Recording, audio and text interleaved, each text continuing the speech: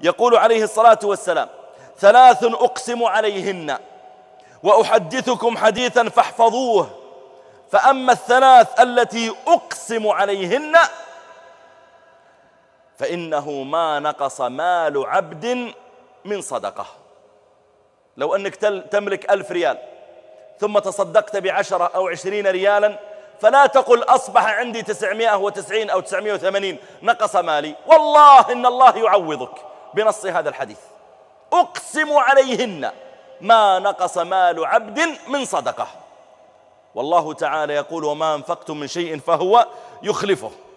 يقول رافع بن خديج رضي الله عنه الصدقة تسد سبعين بابا من أبواب السوء. من أبواب السوء أن يعقك ولدك. من أبواب السوء أن يحتال عليك أحد ويأخذ مالك. من أبواب السوء أن يصيبك مرض. من أبواب السوء أن تصدم سيارتك. من أبواب السوء أن تفصل من وظيفتك. من أبواب السوء أن يحترق بيتك. من أبواب السوء أن, أن, أن يؤخذ مالك. أبواب السوء كثيرة. يقول رافع بن خديج الصدقة تسد سبعين بابا من أبواب السوء. يسدها الله تعالى عنك. وأفضل الصدقة الصدقة على ذوي الرحم. تحسن إلى أختك.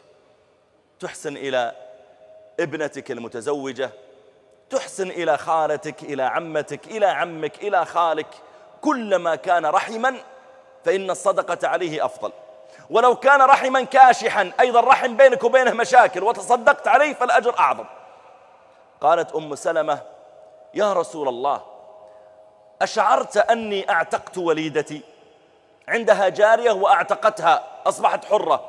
والعتق من أفضل الأعمال. قالت أشعرت أني اعتقت وليدتي.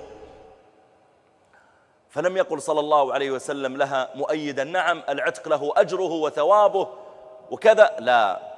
قال أما إنك لو أشعرتني لو أخبرتيني قبل أن تعتقيها لأمرتك أن تعطيها أخوالك.